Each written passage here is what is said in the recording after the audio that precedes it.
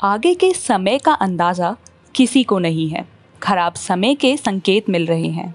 विश्व विख्यात संत बाबा उमाकांत जी महाराज ने 21 अगस्त को अपने जय गुरुदेव आश्रम उज्जैन से भक्तों को आगे आने वाले समय के बारे में बताते हुए संदेश दिया। उन्होंने कहा कि आगे आने वाले समय के बारे में किसी को कोई अंदाज़ा नहीं है, लेकिन आगे का समय अच्छा नहीं है। इसलिए लोगों को होशियार रहने की ज़रूरत है। आगे का समय का अंदाज़ा किसी को नहीं है, लेकिन समय अच्छा नहीं है। दिन ब दिन खराब समय, यानी समझो के संकेत मिल रहे हैं। इसलिए बहुत होशियारी से रहना है, बच करके रहना है, लोगों को बचाना है। इस चीज़ का सब लोगों, आप ध्यान रखना।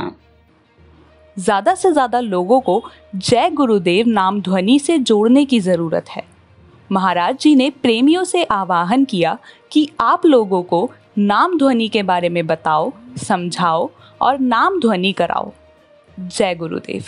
पूज्य संत बाबा उमाकांत जी महाराज।